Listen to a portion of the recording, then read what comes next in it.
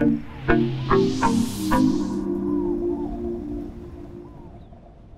sitting right here inside the dining area of the living vehicle and I want to talk about how this uh, kind of on first glance is, uh, is a little bit more adaptable, multi-purpose than it may seem.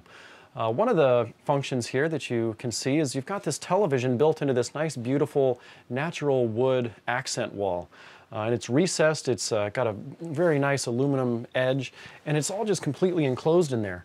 Uh, something that's nice about this is it's, it's on a swivel, so it's a very simple kind of way that you pull it out and then you can, you know, you can see the, uh, the television from different areas inside the room. Now, mind you, while you can do that, its primary function is to rest inside the wall like this.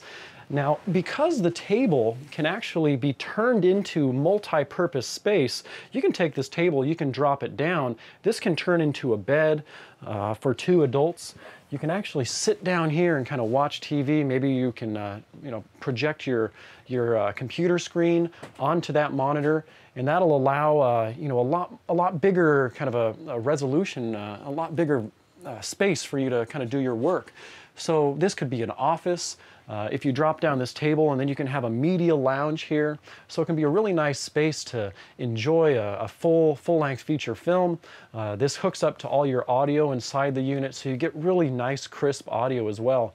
So is a very adaptable uh, media center, it serves a lot of different purposes where in diff different configurations we've put that television in the right location so you can use it as an office, you can use it as a, as a media room, or you can just watch the morning news if you pull it out and you can watch it from your kitchen. So I'm excited to, to see what everyone experiences and kind of what the different uses are for this television uh, from an adaptability perspective and how many different uses you can actually use this for.